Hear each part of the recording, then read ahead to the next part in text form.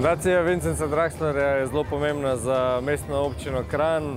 Namreč eh, mestna občina Kranj je precej omejena z svojim delovanjem tako na zakonski ravni kot tudi z financami.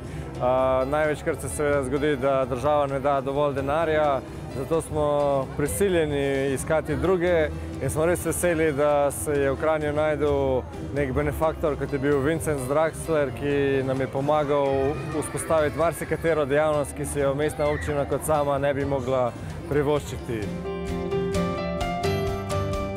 Ta pohod je namenjen uh, glavnem spominu na gospoda Vincenca Draxlerja, ki je namenil toliko sredstev in volje in spodbud uh, nam v fundaciji Vincenca Draxlerja, da gojimo njegov spomin na vse dobro, kar nam je, kar nam je dal v vseh teh letih.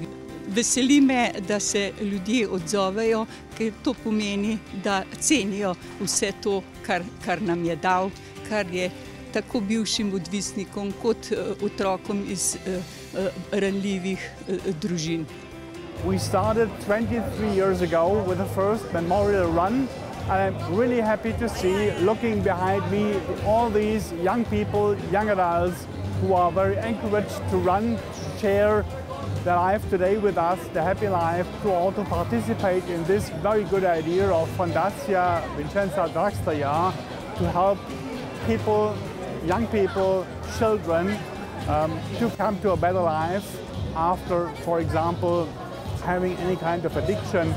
And I look forward to almost then a quarter of a century in two years to be back here and to again see the prospering event. Res se mi zdi super preditev, da se ima popestri dogajanje v mestu. Sploh tukaj čez center je vsak rok bilo lepo vzdušje, ki ti da še malo energije. Tako da mislim, da je prav, da ima Kranj svoj tek. No. Odlično, sploh nisem vedela, da sem prva med puncami. Je pa tale tek za Kranj res taka super prireditev, lepo jo organizirajo. Proga je zanimiva, ker gre trikrat skozi mestno jedro, tako da zagotovo še pridem.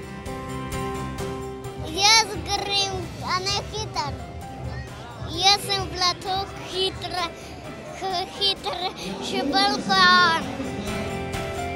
Tek za Kranj se mi res zdi super prireditev. Gre za tek in pa druženje ob enem. Hkrati tudi lepo videti, da je celoten, celotno mestno jedro polno ljudi, tudi kulinarično in pa krajevne skupnosti, ki, ki predstavljajo svoje, svoje izdelke. In lepo je videti, da, pač, da mesto živi, da smo športno aktivni in seveda, da se družimo.